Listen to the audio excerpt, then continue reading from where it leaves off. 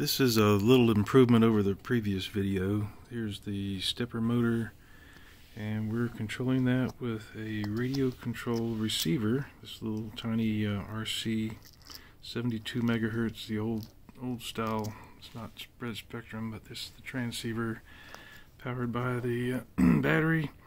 And the output of two of the servos are wired into some inputs on this Arduino Pro Mini been programming back here, this guy. Uh, set that up with a FTDI cable going over to the notebook with Arduino on it, and we have a stepper motor driver. Got two of them, as seen in a previous project.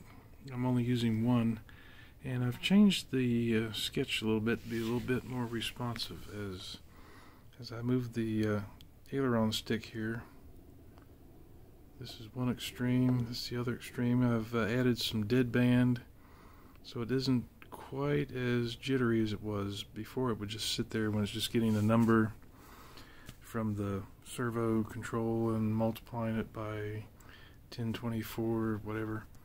Uh, it would sit and jitter quite a bit, so I added about, uh, it has to be a difference of greater than 10, 15. But anyway, it's just fun as I I move the stick here. It's like a really powerful servo. Of course, it's really heavy too.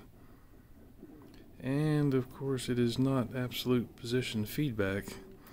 If the servo, uh, the stepper were to slip some, it would stay offset. It is